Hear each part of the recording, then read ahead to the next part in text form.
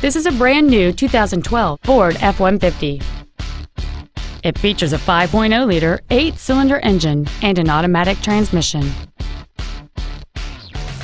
Features include a double wishbone independent front suspension, a low tire pressure indicator, traction control and stability control systems, an engine immobilizer theft deterrent system, 12-volt power outlets, an anti-lock braking system, side curtain airbags, door reinforcement beams, and power windows.